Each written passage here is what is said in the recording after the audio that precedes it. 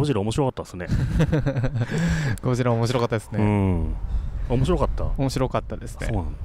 僕ゴジラを映画館で見たの多はい。分初めてなんですよね、はいはいはいはい。なんか昔からゴジラってあるけどはい。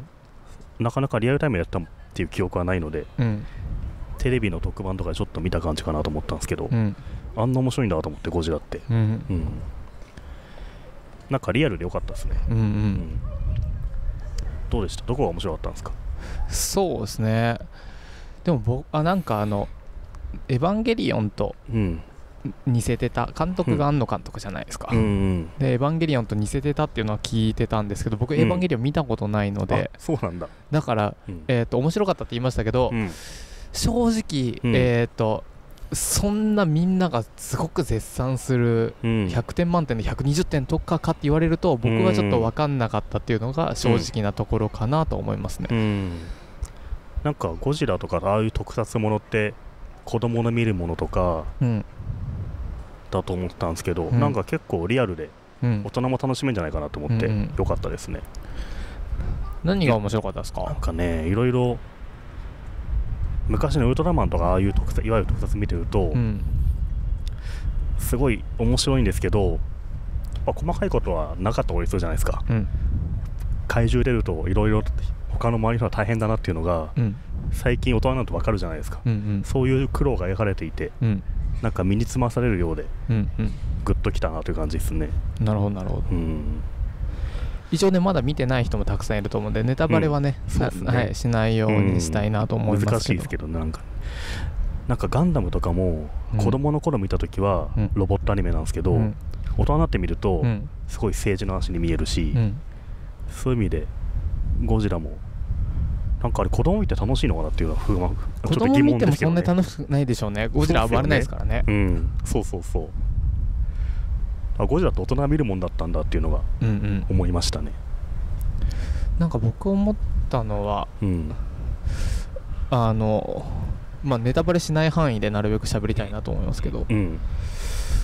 かわいそうだなゴジラと思って。そうっすね。で何かっていうと、あいつ自分から悪いことしてないなと思って。うん。ただ歩いてて あのやられちゃうという、うん。なんかそのあたりがこそうですよね。うなんだろうな。こう悪気が存在が悪になってしまうというか。うん。も僕たちもうん。アフリカの山道を歩いてたら虫を踏んじゃうかもしれないし、うん。でもそしたらゴキブリもかわいそうじゃないですか、まあそうですね。ただ歩いてるだけだから。うん。うん。うんいや人間ってやっぱひどいなと思いましたね、うんうん。ゴキブリ殺しちゃうし。あ んえエヴァは好きなんですか？あエヴァ好きですよ。あそうなんアニメ見てましたしね、はいはいはい結構、うん、でも本当エヴァっぽいなと思いました、うんううん。ん同じ人が作ったんだなっていう感じがはい。結構細かいところではいはい。なんとなくわかるっていう、もう僕全然エヴァ見てなかったんで分かんないですけど、まあ、見ればねすげえわかると思あうんですよね。ね。なんかあんまネタバレしちゃダメですよ、演出ですね、はいはい。いわゆる。なるほどね。同じ映画館とか作ってるっていうのは、うんううんん同じシリーズみたいな感じがしてきましたね。うんううん。んこれ僕観点で、うん。僕はプロモーションとか PR みたいなのところを結構なりわいとはしてたので、はい。その観点で見た時にこれって僕知らなかったんですけど、うん。やるっていうプロモーションやってました？公開まであと何日みたいな。ななんんかか気づいたらね。気づいたらタイムラインで楽しかった、うんうんうん。で増えてきてうん。ポケモン GO かシン・ゴジラかみたいになって、はいはいはい。むしむしろなんかそういうテレビかな。あ映画なんだ、うん。なんかねすげえ地味なプロモーションやってましたね。あそうなんですね。結構最近になっても、うん。映像を一切出さずに、うん。なんかなんでゴジラを作ろうと思ったのかみたいな、うんうん。そういうきっかけみたいなものをうん。テキストでうんダーッと書いてるだけの広告出したりとか、あなんか地味なことやってて、うんうん。すごい CM でバンバン映像流して、うん。すごいぞとかそういう感じはなかったですね。うんうん。なんかどこかのウェブ記事で、うん。あの字幕じゃないやあの、うん。エンドロールを見ると、うん。あの宣伝のところにうん。庵野監督の名前があるんだ、あそうなんだ。こう統括で。うん。うん。でうんわざと映像でうん。しょぼくさせて期待値をうん。下げといて、うん。意外と面白いのプロモーションを狙ったんじゃないのかっていうウェブ記事があったんですけどまあそれはちょっと、へー。あの真偽のほどは定かじゃないですけど確かうにんあのエンドロールで安野監督の名前入ってましたし、そうなんだ。なんか事前にうん。あのこんなのやりますっていうの一切見なかったなと思って、うんうん。なんかいつの間にか始まってましたねうん。確かにね。うん。うん、いやでもね意外と面白いなって思いました本当に、うんなんかゴジラってめちゃめちゃワクワクしてうん。いくようなそんな対策ってイメージなかったんで。うんうん。例えば「スター・ウォーズ」みたいなさ、うんうん。国民的はいはい。まあ誰が作ってもゴジラがガオーってして人間が防いで終わりだったうん。そういうなんとなくのイメージを持っていったらうん。あ全然意外といいじゃんっていうはい。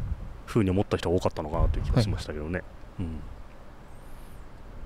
なんかイメージでもゴジラ対モスラみたいなはいはいはい。恐竜がワンワンサか出てきて、うん、よくわかんないみたいな。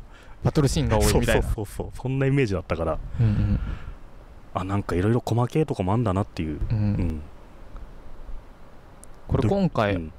あの初めてのゴジラ史上初めてのフル CG うん今までだとこう多分人が入って、ミニチュア壊してガオーだったのがあゴジラの中に今まで人が入ってたんですよ入ってたことがちょっと分かんないですけどまあま入ったかもしれない確かに。あ そう。ん。そっか。うそのあたりはどうでした？フル CG 映像もすげえいいなと思いましたね。うん。あんま狙いになるからゴジラがどうとか言えないですけどそうですね確かに。すげえ動き良かったなと思います。あこれゴジラなの？っていうふうに思いましたもんはいはい。ね。僕がうんもうネタバレしない範囲が難しいですけど、まあ、若干ネタバレになっちゃうのかもしれないですけどさすごい感じたのは、うん。字幕？うんうん。あ字幕ね。文字？はいはい。あれすごい多いじゃないですか。ちゃ多い。うん。でもあれって、うん。あのなんだっけな。エンドロールでうん。途中岡本喜八かっこ写真って出るんですよ、あそうなんだ。それってあの、うん。まあとあるうん。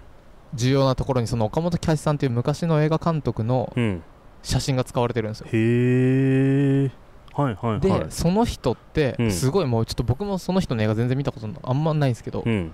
あの平成何年うん。バンバンバンとこうあの字を出す字を出す説明のうん。映画の人で、うんで、確か庵野監督昔対談とかしてるんですよこのもうこの岡本さん死んじゃったんですけど。うんうん多分その尊敬の意味も込めて写真で使って、ね。うんうん。であと多分そのやり方を踏襲してるというか、うんうんそうなんだ、うん。あの字幕の使い方ってでもエヴァンゲリオンっぽいなと思いましたけどね、うんあのフォントといい。そうそうほんとほんとうんうんうん。まあ、僕はエヴァ知らないんでよくフォントも知ってますねでもね。まあそれなはなんとなく。み見てなくてもさすがに。あそっかそっか、はい、うん。なんかもう一回見たいなと思いました。うんうん。そういう細かい情報がいろいろ詰め込まれてるんだろうと思うから、うん。いろいろウェブとかで情報集めて、うん。でもう一回改めて見ると、うん。すげえいろんな発見があってうん。面白そうな気がしますね、うんいやでも庵野監督のゴジラだから僕はちょっと面白そうだなと思って。うん。あの人って大学の卒生かうん。あの卒業制作かうん。確か自主制作で、うん。なんかウルトラマンみたいなのやってあそうそうるんですよね。そうそうそうそうそうそう。知ってる知ってる特撮大好きなんですよね。自分で撮ってるんですよね、そう。であれどっちだっけな？それを見た「青い炎」っていう漫画の,、うんあの作者の人と確か大学同期で、うんうん。であのずっと庵野監督のことを敵対視してて、庵野監督は知らなかったみたいな、はいはい。なんかそういう関係性があってその自主制作の、あうん。庵野さんの奥さんってあの庵野もよこさん、あのは漫画家ですね。働きマンの人じゃないですか、ん。あの人が漫画描いてますよね。あのなんだっけ監督。ああ冬木届きでしたっけ？冬木届。きはいはい。なんかね。あれだったかうん何かであの自主制作のを見てすごい説明されたみたいなところがあったんでその人がゴジラ作るんだ。とついに作れてよかったところですねじゃあね、うん。夢が叶ったってことなんですかね、うん